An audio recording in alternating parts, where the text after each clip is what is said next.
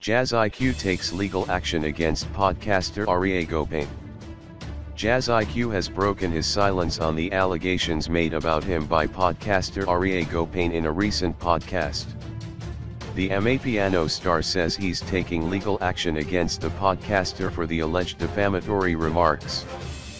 JazziQ posted an official statement from his legal team on Thursday slamming claims made by Rea alleging that the Amapiano DJ had a hand in the death of Mpura and Killer Kau who died in an accident in August this year. The allegations are void of any form of truth and are harmful, read the statement. The facts around Mr. Manyoni's conduct and whereabouts as explained by Mr. Riatal Gilgopain are worrisomely inaccurate.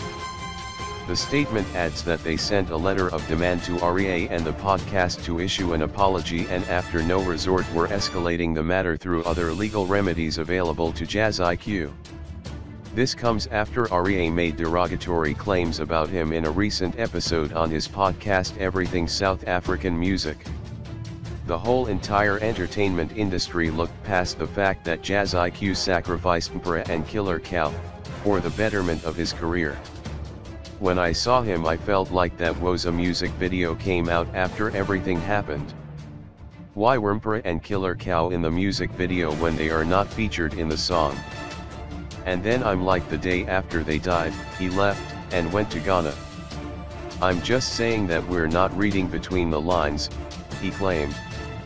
F5 News attempted to reach Rea Gopane for comment with no resort and the podcast's social media platforms have been mum on the matter.